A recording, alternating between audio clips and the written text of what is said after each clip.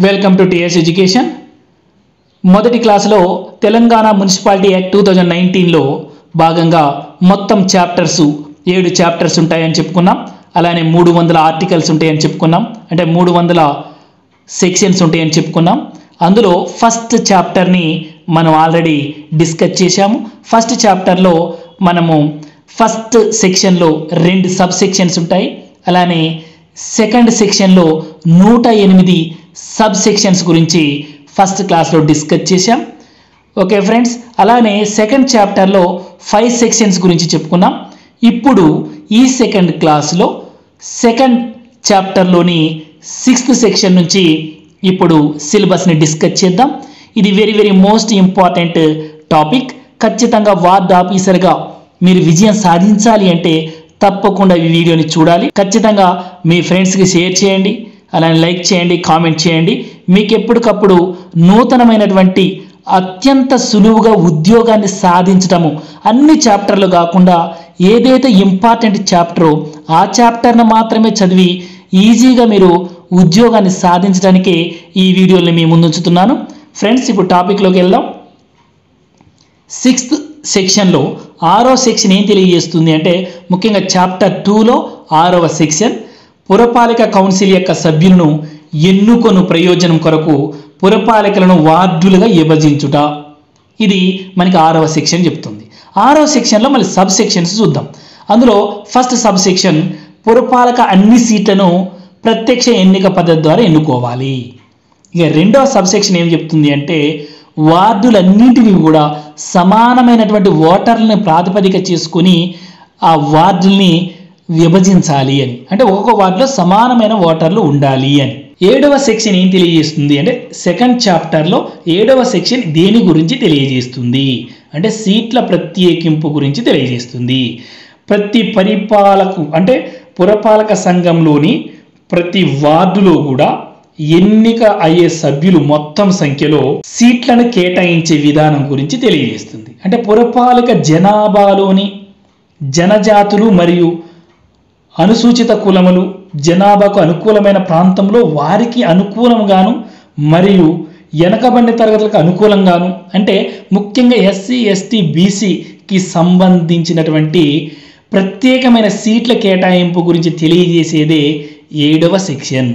ఇది ఏ చాప్టర్లో ఉంటుంది? రెండవ చాప్టర్లో ఉంటుంది. ఇది మోస్ట్ ఇంపార్టెంట్. ఇక ఎనిమిదవ సెక్షన్ ఏం తెలియజేస్తుంది అంటే సభ్యుల యొక్క ప్రమాణ స్వీకారం గురించి తెలియజేస్తుంది. అంటే మున్సిపాలిటీలలో ఎన్నికలు జరిగిన తర్వాత దేని ప్రకారం వాళ్ళు ప్రమాణ స్వీకారం చేస్తారు? అంటే ముఖ్యంగా మున్సిపాలిటీలో కౌన్సిలర్స్ కానీ అలాగే కార్పొరేషన్లో కార్పొరేటర్ కానీ వీళ్ళు ప్రమాణ స్వీకారం రెండవ చాప్టర్లోని ఎనిమిదవ సెక్షన్ ప్రకారం చేయడం జరుగుతుంది. ఇది చాలా ఇంపార్టెంట్. ఇక తొమ్మిదవ సెక్షన్ ఏం తెలియజేస్తుందంటే సభ్యుడు పదవిని విరమించిన తర్వాత కమిషనరు మరియు సభ్యుడిచే చర్య. ఇది ఖచ్చితంగా గుర్తుపెట్టుకోవాలి. ఎందుకంటే సభ్యుడు పదవి నుండి విరమించిన ఎడల కమిషనర్ కౌన్సిల్ యొక్క తదుపరి సమావేశంలో ఖచ్చితంగా దాని గురించి చెప్పవలను. ఇక ప్రతిజ్ఞ లేదా ప్రమాణం చేయుటకు సంబంధించినటువంటి కూడా ఒక సబ్సెక్షన్ ఉంది. అది తొమ్మిదిలో రెండవ సబ్సెక్షన్. ఇక నెక్స్ట్ పదవ సెక్షన్ ఏం తెలియజేస్తుంది అంటే పురపాలిక సభ్యుల యొక్క పదవి కాలావధి గురించి తెలియజేస్తుంది. అంటే పురపాలక సంఘంలో సభ్యుడిగా ఎన్నికైనటువంటి వ్యక్తి ఆయన కాల పరిమితి ఎంత? అంటే ఐదు సంవత్సరాలు. ఈ విషయాన్ని ఎన్నో చాప్టర్లోని ఎన్నో సెక్షన్ తెలియజేస్తుందంటే రెండవ చాప్టర్లోని పదవ సెక్షన్ తెలియజేస్తుంది. ఇక నెక్స్ట్ పదకొండవ సెక్షన్ ఏం తెలియజేస్తుందంటే అభ్యర్థుల యొక్క అర్హతల గురించి తెలియజేస్తుంది. అభ్యర్థి ఖచ్చితంగా ఇరవై ఒక్క సంవత్సరాలు నిండి ఉండాలి. అలానే ఆ సభ్యుడు ఎన్నిక కావటానికి అక్కడున్న ఓటర్ల జాబితాలో ఖచ్చితంగా అతనికి ఓటు కలిగి ఉండాలి. ఇది ఖచ్చితంగా తెలియజేసేటువంటి సెక్షన్ ఏది అంటే పదకొండవ సెక్షన్ పన్నెండవ సెక్షన్ ఇది సాధారణ నిరార్హత. అంటే ఒక వ్యక్తి కౌన్సిలర్గా కానీ కార్పొరేటర్ కానీ పోటీ చేయటానికి అనర్హత అనే తెలియజేసేది ఏంటి అంటే పన్నెండవ సెక్షన్ తెలియజేస్తుంది. ఇక నెక్స్ట్ పదమూడవ సెక్షన్ ఏం తెలియజేస్తుందంటే సభ్యుల యొక్క నిరర్హతను నిర్ణయించుటకు ప్రాధికారం. అంటే ఖచ్చితంగా ఆ వ్యక్తి అనర్హుడు అని చెప్పడానికి ఖచ్చితంగా లీగల్గా నిరూపించబడేది. దాని గురించి సవాల్ చేసేది ఎన్నవ సెక్షన్ అంటే పదమూడవ సెక్షను. ఇందులో మళ్ళీ సబ్ సెక్షన్స్ రెండు ఉంటాయి ఇక నెక్స్ట్ పద్నాలుగవ సెక్షన్ చూసినట్టయితే కొత్తగా ఏర్పాటు చేయబడిన మరియు తిరిగి ఏర్పాటు చేయబడిన పురపాలికల విషయంలో ప్రత్యేక నిబంధనలు. అంటే కొత్తగా ఒక ప్రాంతాన్ని మున్సిపాలిటీగా చేసినప్పుడు ఆ ప్రాంతాన్ని ఏర్పాటు చేసేటువంటి నియమ నిబంధన ఏంటి అంటే పద్నాలుగో సెక్షన్ తెలియజేస్తుంది. ఇందులో ఏంటంటే ప్రభుత్వం ఈ విషయంలో చేసిన ఉత్తర్వు ద్వారా ఎన్నికైన సభ్యులు మరియు చైర్పర్సన్ పదవిలోకి వచ్చుటకు వీలుగా పురపాలిక ఎన్నికలు నిర్వహించడం అనేది ఈ పద్నాలుగో సెక్షను రెండో సబ్ సెక్షన్ తెలియజేస్తుంది. ఇక మూడవ సబ్ సెక్షన్ ఏం తెలియజేస్తుందంటే ఇందులో ఒకటి మళ్ళీ రెండు సబ్ సెక్షన్లు ఏం చేస్తాయంటే పురపాలిక విషయంలో ప్రధానంగా ఏంటంటే నియమ నిబంధనల గురించి తెలియజేస్తుంది అనమాట ఫిఫ్టీన్ సెక్షన్ పదిహేనవ సెక్షన్ ఇది సభ్యుల యొక్క ఖాళీల గురించి తెలియజేస్తుంది. అంటే ఎన్నికైన సభ్యుని మరణం కానీ రాజీనామా వలన కానీ ఏ ఏ కౌన్సిలర్ సీట్లు ఖాళీగా ఉన్నాయి కార్పొరేట్ సీట్లు ఖాళీగా ఉన్నాయి. అంటే సభ్యుల ఖాళీల వివరాల గురించి తెలియజేసే సెక్షన్ పదిహేనవ సెక్షన్ తెలియజేస్తుంది. ఇది ఒక మున్సిపాలిటీలో కౌన్సిలర్స్ కానీ లేక కార్పొరేటర్లు కానీ అనివార్య కారణాల వల్ల మరణించినప్పుడు కానీ లేదా రాజీనామా చేసినప్పుడు కానీ ఆ ఖాళీల వివరాల గురించి తెలియజేసేదే పదిహేనవ సెక్షన్ ఇక నెక్స్ట్ పదహారవ సెక్షన్ ఏం తెలియజేస్తుందంటే ఏ సభ్యుడు ఎన్నిక కానప్పుడు దాని యొక్క ప్రక్రియను ఏ విధంగా నిర్వహించాలి? ఎన్నికల కమిషన్ ఆ తాజా ఎన్నికల తేదీ నిర్ధారణ గురించి తెలియజేసేదే పదహారవ సెక్షన్ ఇందులో మళ్ళీ ఒకటి రెండు సెక్షన్స్ కూడా సబ్ సెక్షన్స్ ఉంటాయి. ఇది ఆకస్మిక ఎన్నిక. అలానే ఎన్నికల కమిషన్ యొక్క నిర్ణయాధికారం గురించి ఈ సబ్ సెక్షన్స్ తెలియజేస్తాయి. ఇక నెక్స్ట్ పదిహేడవ సెక్షన్ ఏం తెలియజేస్తుందంటే కమిటీల యొక్క నియామకము. పదిహేడవ సెక్షన్ ఏం తెలియజేస్తుందంటే కమిటీల యొక్క నియామకం గురించి తెలియజేస్తుంది. ప్రతి మున్సిపాలిటీలో ఉన్నటువంటి యువజనులు మహిళలు వయోజనులు ఇతర ప్రముఖ వ్యక్తులతో విడివిడిగా ప్రాతినిధ్యం వహిస్తూ ఆ వార్డు నుండి వారిని నిర్దేశించిన విషయంపై పర్యాలోచించి సలహాలు ఇవ్వడానికి అలానే ఆ కమిటీలన్నింటిని కూడా మున్సిపాలిటీలలో నియమించుకోవడం కోసం తెలియజేసేటువంటి సెక్షనే పదిహేడవ సెక్షన్ అంటే మున్సిపాలిటీలో ఉన్నటువంటి కౌన్సిలర్స్ కానీ కార్పొరేటర్స్ కానీ ఖచ్చితంగా ఆ మున్సిపాలిటీలో కొన్ని కమిటీస్ని ఏర్పాటు చేసుకోవాలి. దాని గురించి తెలియజేసేదే పదిహేడవ సెక్షన్ నెక్స్ట్ పద్దెనిమిదవ సెక్షన్ ఇది పురపాలక ఏర్పాట్లోని మరియు ఖాళీలు కారణంగా పురపాలక చర్యలు చెల్లనివిగా కాకుండుట. అంటే ఎగ్జాంపుల్ ఇప్పుడు వైస్ చైర్పర్సన్ కానీ వైస్ చైర్పర్సన్ లేదా సభ్యుడిగా వ్యవహరించిన ఎవరైనా వ్యక్తి యొక్క ఏ చర్య వల్ల కానీ ఉత్తర్వు వల్ల కానీ ప్రొసీడింగ్ వల్ల కానీ అట్టి పురపాలికలో ఉన్నటువంటి ఏదైనా ఒక పదవిలో ఒక వ్యక్తి లేని ఎడల అక్కడ చేసినటువంటి చట్టము చెల్లదు అని చెప్పటానికి అది నిర్ణయం తీసుకునే హక్కు అక్కడ ఉన్నటువంటి చైర్పర్సన్కి అక్కడ ఉన్నటువంటి వైస్ చైర్పర్సన్కి అక్కడ ఉన్నటువంటి కమిటీ మెంబర్స్కి ఉండడానికి తెలియజేసేదాన్ని పద్దెనిమిదో సెక్షన్ అంటామన్నమాట. నెక్స్ట్ పురపాలక ప్రాదేశిక సంస్థలు. అంటే పురపాలక ప్రాధికారిక సంస్థలు అని కూడా అంటాం వీటినే. ఈ పురపాలక ప్రాధికారిక సంస్థల గురించి తెలియజేసేది పంతొమ్మిదవ సెక్షన్ తెలియజేస్తుంది. ఇక నెక్స్ట్ ఇరవైవ సెక్షన్ ఏం తెలియజేస్తుందంటే చైర్పర్సన్ మరియు వైస్ చైర్పర్సన్ల ఎన్నిక గురించి తెలియజేస్తుంది. ఇందులో ఇరవైవ సెక్షన్లో సబ్ సెక్షన్ వన్ ప్రకారము ఈ నియమ నిబంధనలు ఉంటాయి. అలానే టూ ప్రకారం ఎన్నికైన సభ్యుల నుంచి ఒకరిని మనము చైర్మన్గా అలానే వైస్ చైర్మన్గా ఎన్నుకోవడం గురించి తెలియజేస్తుంది. ఇది చాలా ఇంపార్టెంట్ అనమాట ఇందులో ఇరవైవ సెక్షన్లో ఒకటవ సబ్సెక్షన్ రెండవ సబ్సెక్షన్ మూడవ సబ్సెక్షన్ కూడా ఉంటుంది. ఇవన్నీ కూడా ఆ ఎన్నికైనటువంటి వాళ్ళలోంచే చైర్పర్సన్ కానీ వైస్ చైర్పర్సన్ కానీ ఎన్నుకోవడం అనేది ఇది తెలియజేసేటువంటి ప్రధానమైనటువంటి సెక్షన్ ఇరవైవ సెక్షన్. ఇరవై ఒకటో సెక్షన్ ఏం తెలియజేస్తుంది? పార్టీ విప్కు అవిధేయతకైన విరమణకు సంబంధించిన వివాదములను పరిష్కరించడం అనమాట అంటే ఒక పార్టీ గెలిచినటువంటి ఏ పార్టీ అయితే ఉంటుందో ఆ పార్టీ విప్ జారీ చేసినప్పుడు ఆ విప్ని గనక ఉల్లంఘించకుండా ఉండటం కోసం తెలియజేసినటువంటి సెక్షన్ ఏదైనా ఉంది అంటే అది ఇరవై ఒకటవ సెక్షను ఇక నెక్స్ట్ ఇరవై రెండవ సెక్షన్ ఏం తెలియజేస్తుంది అంటే చైర్పర్సన్ లేదా మేయర్ యొక్క పదవి ప్రమాణం గురించి తెలియజేస్తుంది. అంటే ఇప్పుడు మున్సిపాలిటీలలో ప్రధానంగా కౌన్సిలర్స్ అందరూ కలిసి ఒక చైర్మన్ ఎన్నుకుంటారు. అది తెలియజేసేదే ఇరవై రెండవ సెక్షన్. అలానే కార్పొరేటర్స్ అందరూ కలిసి మేయర్ని ఎన్నుకుంటారు. ఆ మేయర్ ప్రమాణ అంటే పదవి ప్రమాణం చేయటం కానీ అలానే మున్సిపాలిటీ చైర్పర్సన్ పదవి ప్రమాణం చేయటం కానీ తెలియజేసేటువంటి ఆర్టికల్ లేక సెక్షన్ ఏది అంటే ఇరవై రెండవ సెక్షన్. ఇంకా ఇరవై మూడవ సెక్షన్ ఏం తెలియజేసిందంటే చైర్పర్సన్ యొక్క కర్తవ్యములు మరియు బాధ్యతలు. అంటే విధులు మరియు బాధ్యతల గురించి తెలియజేసేటువంటి ప్రధానమైనటువంటి ఆర్టికల్ ప్రధానమైన సెక్షన్ ఇరవై మూడవ సెక్షన్. మరి ఇరవై మూడవ సెక్షన్ ఇది ముఖ్యంగా మొదటి చాప్టర్లో కూడా ఉంటుంది. కాబట్టి బాగా మనం గుర్తుపెట్టుకోవాల్సింది ఏంటంటే రెండవ చాప్టర్లోని ఇరవై మూడవ సెక్షన్ ప్రధానంగా ఏం తెలియజేస్తుందంటే ఒక్క మున్సిపాలిటీ చైర్పర్సన్ కావచ్చు లేక మున్సిపాలిటీ మేయర్ కావచ్చు వాళ్ళిద్దరిలో వాళ్ళిద్దరు యొక్క కర్తవ్యాలు మరియు బాధ్యతలు లేక విధులు గురించి తెలియజేసే దానినే మనము ఇరవై మూడవ సెక్షన్ అంటున్నాం. ఇది చాలా మోస్ట్ ఇంపార్టెంట్. ఇక నెక్స్ట్ ఇరవై నాలుగవ సెక్షన్ ఏం తెలియజేస్తుంది? అంటే సెకండ్ చాప్టర్లో ఇరవై నాలుగవ సెక్షన్ ఏం తెలియజేస్తుంది? అంటే పురపాలికల వారిగా గ్రీన్ ఆక్షన్ ప్లాన్.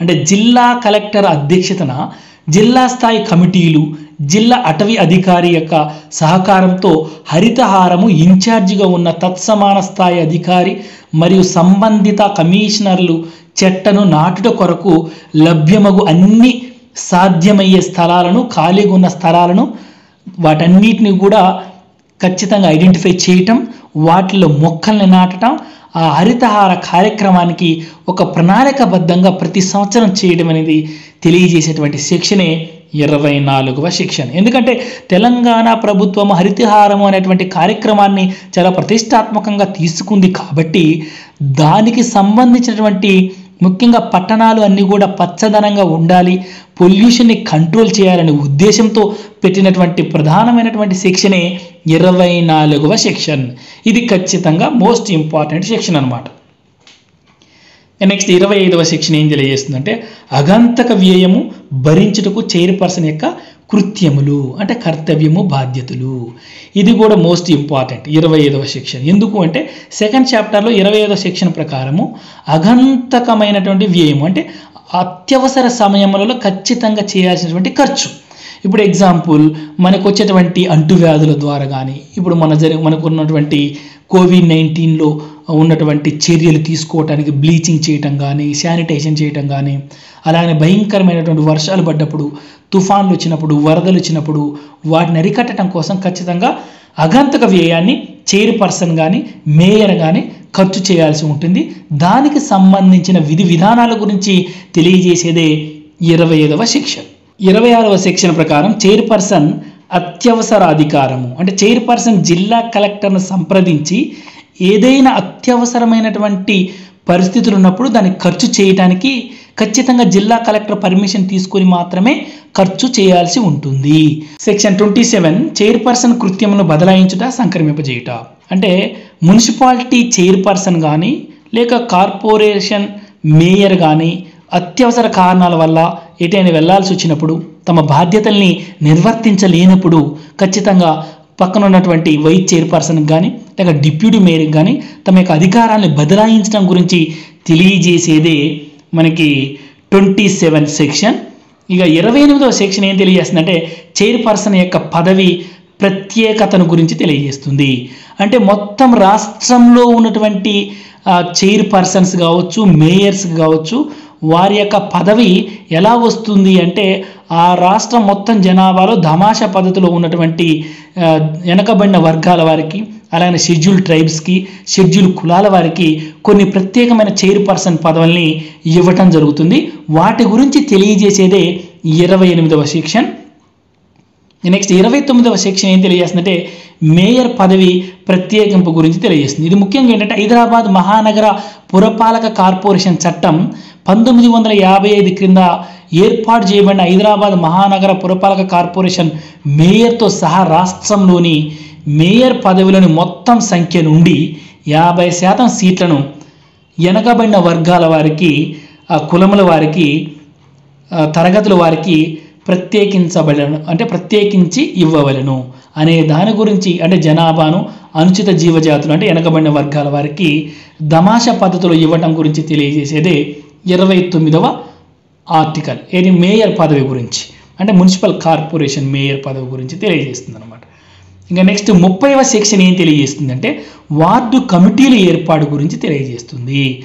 ప్రతి వార్డులోని ఉన్నటువంటి అక్కడ కులాధారిత కుల ఆధారిత సంఘాలను అక్కడ ఉన్నటువంటి గ్రూపులని బేస్ చేసుకొని ఆ వార్డు కమిటీలని త్రైమాసికంగా సమావేశము ఏర్పాటు చేయడం గురించి తెలియజేసేదే ముప్పైవ సెక్షను. నెక్స్ట్ ముప్పై ఒకటవ సెక్షన్ ఏం తెలియజేస్తుందంటే వార్డు కమిటీల యొక్క కృత్యములు. అంటే వారి యొక్క విధి విధానాల గురించి పారిశుద్ధ్యము కానీ అనే ఘన వ్యర్థాల యాజమాన్యం నిర్వహించడం గురించి కానీ అంటే వాటి నిర్వహణ కానీ తొలగించడం కానీ చెట్లు నాటడం కానీ హరితహారముని అంటే మొక్కల్ని వేయడం కానీ బతికించడం కానీ నీటి సరఫరా నిర్వహించడం కానీ పార్కులు ఆట స్థలాలు పబ్లిక్ టాయిలెట్స్ పురపాలకులకు పన్నులు ఫీజులు వంటి వాటన్నిటి గురించి ప్లాస్టిక్ వినియోగము తగ్గించటము అనాధికార నిర్మాణాలను తొలగించడము కళలను సాంస్కృతిక కార్యక్రమాలను క్రీడల్ని పెంపొందింపజేయటము. వీటన్నిటి గురించి మనకి ప్రధానంగా తెలియజేసేటువంటి సెక్షన్ ఏది అంటే ముప్పై ఒకటవ సెక్షన్. ఇది వార్డు కమిటీలు చూసుకోవాల్సిన బాధ్యత అనమాట నెక్స్ట్ ముప్పై రెండవ సెక్షన్ ఏం తెలియజేస్తుంది అంటే చైర్పర్సన్ వైస్ చైర్పర్సన్ మరియు సభ్యుల పదవి ఆకస్మిక ఎన్నికల వాయిదా గురించి తెలియజేసేదే ముప్పై రెండవ సెక్షన్. ఇక ముప్పై మూడవ సెక్షన్ ఏం తెలియజేస్తుంది అంటే చైర్పర్సన్ మరియు వైస్ చైర్పర్సన్ పదవి విరమణ గురించి తెలియజేసేది ముప్పై మూడవ సెక్షన్. ముప్పై నాలుగవ సెక్షన్ ఏం తెలియజేస్తుందంటే చైర్పర్సన్ పదవి ఖాళీగా ఉన్నప్పుడు పాటించవలసిన ప్రక్రియ ఏంటి? ఒకవేళ చైర్పర్సన్ అర్ధాంతరంగా మరణించినప్పుడు ఆ వైస్ చైర్పర్సన్కి ఆ పదవిని కేటాయించటమా? లేకపోతే మళ్ళీ ఒకరిని ఎన్నుకొనటమా? లేకపోతే దాని విధి విధానాలు ఏంటి? అని తెలియజేసేది ముప్పై నాలుగవ సెక్షన్ తెలియజేస్తుంది.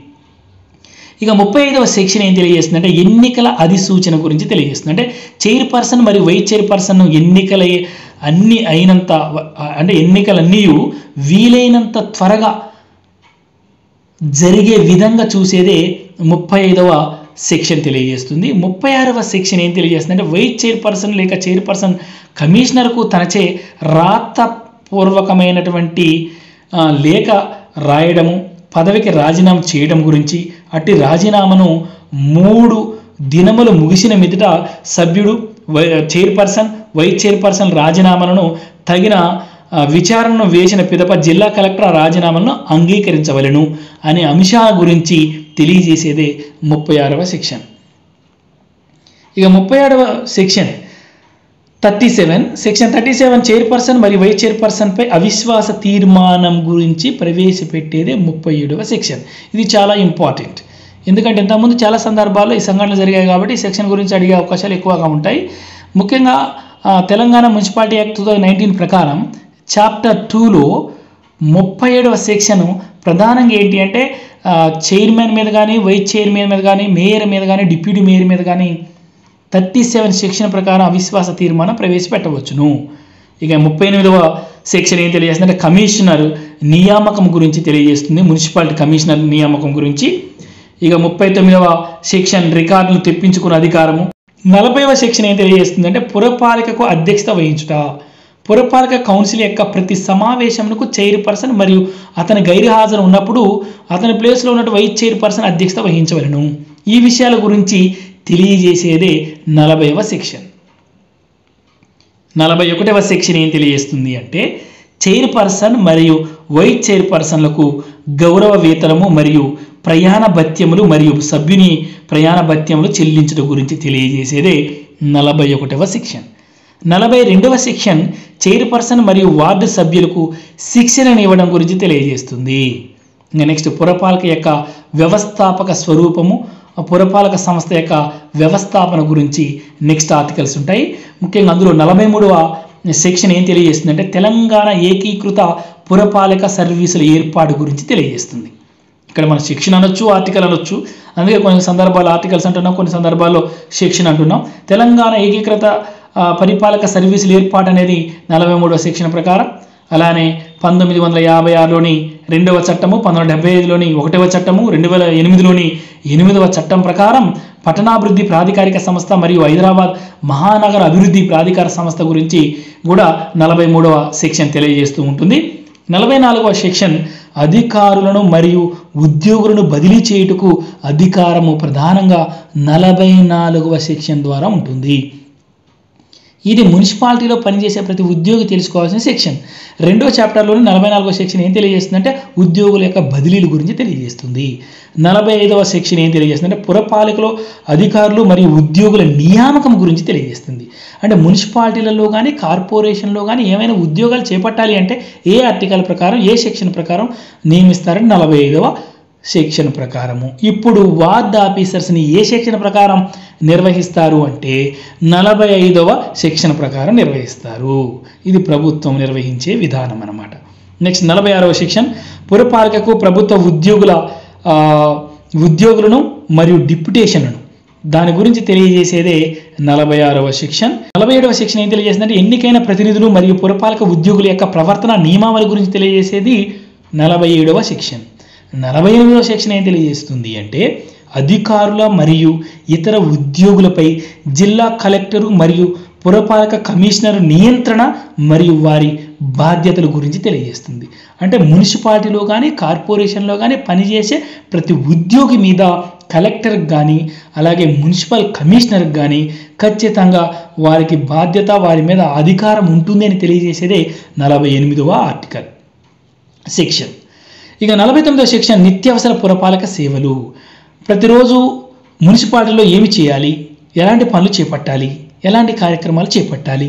అని తెలియజేసేది నలభై తొమ్మిదవ సెక్షన్ ఇక యాభైవ సెక్షన్ ఏం తెలియజేస్తుందంటే అధికారులు మరియు ఉద్యోగుల యొక్క జీతము మరియు జీత భత్యాల గురించి తెలియజేస్తుంది అనమాట మున్సిపాలిటీలో ఉన్నటువంటి ప్రతి ఉద్యోగి యొక్క జీత భత్యాల గురించి తెలియజేసేదే ఈ యాభైవ సెక్షన్ ఇక నెక్స్ట్ యాభై ఒకటవ సెక్షన్ ఏం చేస్తుందంటే ఇక్కడ నుంచి పురపాలక యొక్క కర్తవ్యాలు మరి బాధ్యతలు ఉంటాయి.